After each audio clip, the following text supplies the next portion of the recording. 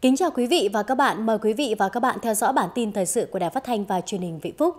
Nhờ nguồn vốn vay ưu đãi từ Quỹ hỗ trợ phát triển hợp tác xã tỉnh, nhiều hợp tác xã trên địa bàn tỉnh có thêm nguồn lực để đầu tư mở rộng quy mô sản xuất kinh doanh, đổi mới công nghệ, nâng cao sức cạnh tranh trên thị trường. Từ đó tạo việc làm ổn định, tăng thu nhập cho thành viên, người lao động, góp phần tích cực vào sự phát triển kinh tế xã hội của tỉnh.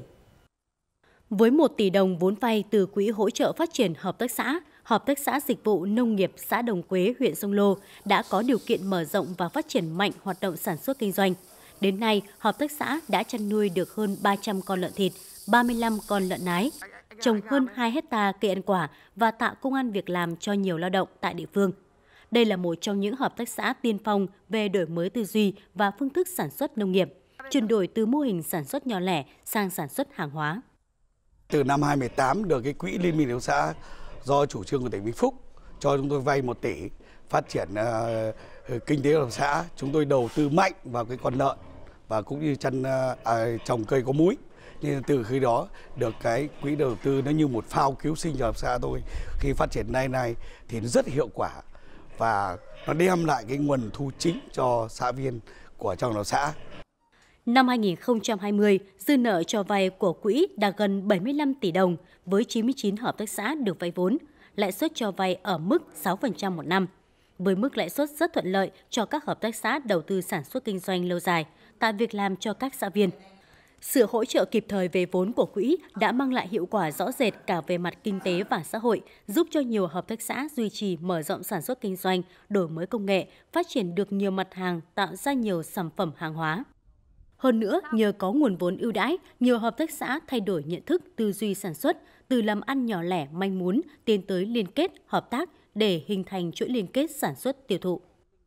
Để à, tạo điều kiện cho các hợp tác xã à, nông nghiệp mà tiếp cận nguồn vốn thì à, quỹ hỗ trợ phát triển hợp tác xã tỉnh Vĩnh Phúc thì tạo những cái cơ chế nhanh gọn thuận lợi nhất để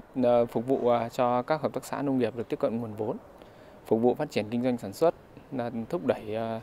kinh tế hợp tác xã ngày càng phát triển.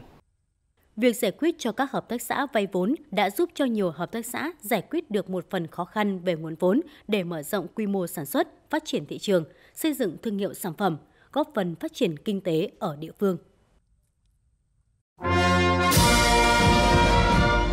Đại hội đại biểu toàn quốc lần thứ 13 của Đảng diễn ra từ ngày 25 tháng 1 đến ngày mùng 2 tháng 2 năm 2021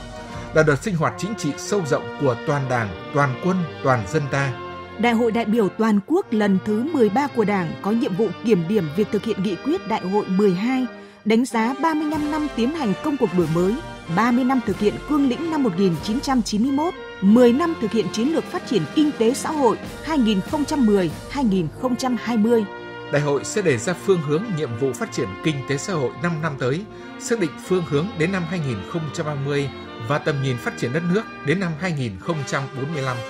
Đại hội sẽ đánh giá việc thi hành điều lệ Đảng khóa 12, kiểm điểm sự lãnh đạo của Ban chấp hành Trung ương khóa 12 và bầu Ban chấp hành Trung ương khóa 13.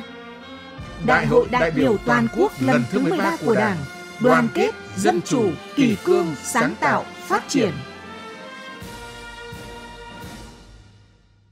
Thưa quý vị và các bạn, tại các địa phương trong tỉnh, cán bộ đảng viên nhân dân và các dân tộc trong tỉnh Vĩnh Phúc đang hướng về Đại hội đại biểu toàn quốc lần thứ 13 của Đảng với niềm tin đại hội sẽ là ngày hội của tinh thần đoàn kết đồng lòng của toàn Đảng, toàn dân và kỳ vọng đại hội sẽ đề ra những định hướng, quyết sách đúng đắn, tạo sự đột phá cho đất nước phát triển bền vững, đời sống nhân dân tiếp tục được nâng lên trong thời gian tới.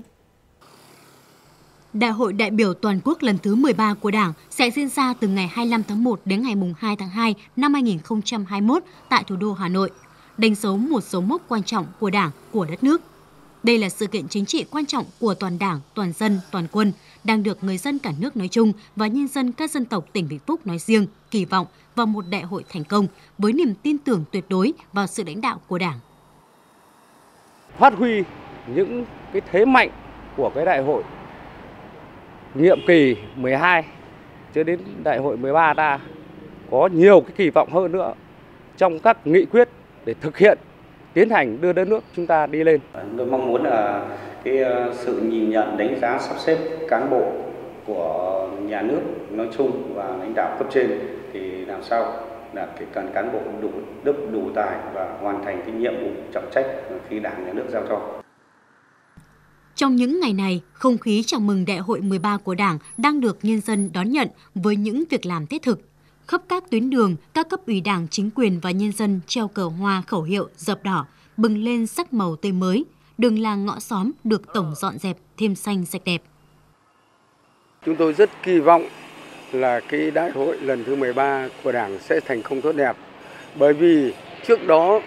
Ờ, công tác chuẩn bị nhân sự cho đại hội diễn ra như Tổng Bí thư ờ, Chủ tịch nước Nguyễn Phú Trọng đã nói là rất thành công và đồng thuận rất cao.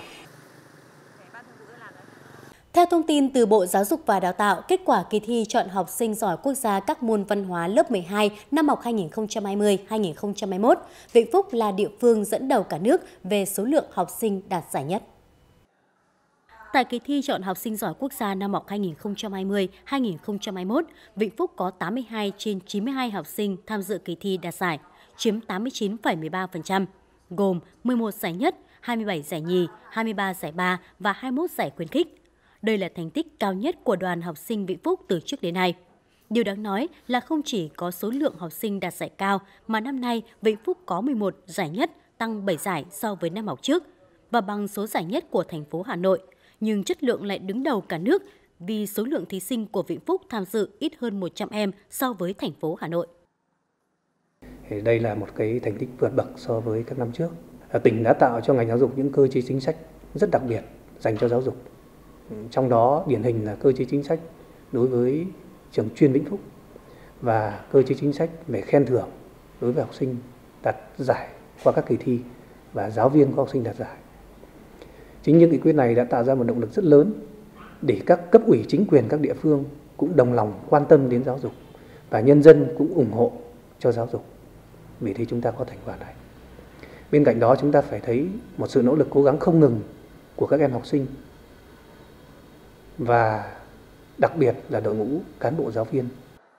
Trong 10 môn tham dự, lần đầu tiên Vĩnh Phúc có học sinh đạt giải nhất môn tiếng Pháp. Điều này có ý nghĩa đặc biệt bởi trước đây môn tiếng Pháp luôn được coi là điểm yếu của học sinh Vĩnh Phúc. Môn khoa ừ, chuyên Pháp cũng là một môn, gọi là, cũng ra đời sau so với các khối chuyên khác nên là cũng thành tích cũng không không thể bằng các chuyên khác được nên em muốn làm cái gì đó để, gọi là, nâng tầm cái chuyên pháp, vai trò, vị trí của chuyên pháp lên so với các bộ môn khác và, đấy là cái động lực để em đạt được kết quả ngày hôm nay ạ. Ngay sau khi có kết quả của kỳ thi, trường Trung học phổ thông chuyên Vĩnh Phúc đã động viên các thầy cô giáo và các em học sinh tích cực ôn luyện để có kết quả tốt nhất tại vòng thi tiếp theo để lựa chọn thí sinh đi thi quốc tế. Ngay sau khi có cái kết quả thì dự thi vòng 1 thì chúng tôi đã họp với tất cả giáo viên có học sinh dự thi vòng 2 để đưa ra những cái nhận xét những cái đánh giá đúng về cái năng lực của từng em điểm yếu điểm mạnh của từng học sinh và so sánh với lại các bạn học sinh đầu cao của các tỉnh bạn để chúng tôi xây dựng cái kế hoạch bồi dưỡng cho các em một cách hợp lý khoa học và làm thế nào để bù đắp những cái thiếu sót của các em và uh, tạo cái động lực tốt nhất để các em dự thi cái vòng 2 đạt kết quả cao. Để đạt được cả cái đến cái vòng quốc tế thì cô trò cũng bắt đầu từ hôm nay là đã đi vào để ôn tập vòng 2 và sẽ cố gắng quyết tâm để đạt được cái kết quả cao nhất. Sau khi biết kết quả thì em cũng rất là bất ngờ và em sẽ cố gắng học để đạt kết quả tốt hơn trong kỳ vòng thi tiếp theo. Thành tích của đoàn học sinh của tỉnh trong kỳ thi học sinh giỏi quốc gia năm học 2020-2021 một lần nữa khẳng định chất lượng giáo dục và đào tạo của Vĩnh Phúc tiếp tục giữ vững ở vị trí cao trong cả nước. Công an thành phố Phúc Yên vừa bắt quả tang nhóm đối tượng đánh bạc bằng hình thức đá gà ăn tiền tại phường Trinh Nhị, đây là một trong những chiến công của Công an thành phố Phúc Yên trong việc phòng ngừa, đấu tranh với các loại tội phạm, đảm bảo an ninh trật tự phục vụ Đại hội 13 của Đảng và Tết Nguyên đán Tân Sửu 2021. Vào hồi 18 giờ ngày 16 tháng 1 năm 2021, tại gia đình nhà bà Nguyễn Thị Minh Nguyệt, sinh năm 1972, ở tổ 1, phường Trinh Nhị, Công an thành phố Phúc Yên phát hiện bắt quả tang 13 đối tượng đang có hành vi đánh bạc bằng hình thức đá gà ăn tiền. Tăng vật thu giữ tại hiện trường gồm hai con gà trọi, 17 xe mô tô, 2 xe ô tô, 11 điện thoại di động và 29 triệu 720 nghìn đồng. Được biết, sới gà trên do Nguyễn Văn Tuấn, sinh năm 1976 ở tổ 1, phường Trương Nhị đứng ra tổ chức. Hiện công an thành phố Phúc Yên đang tiếp tục điều tra và củng cố hồ sơ xử lý theo quy định.